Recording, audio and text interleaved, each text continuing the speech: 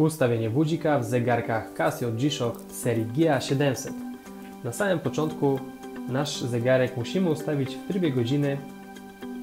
Robimy to za pomocą przycisku lewy dolny.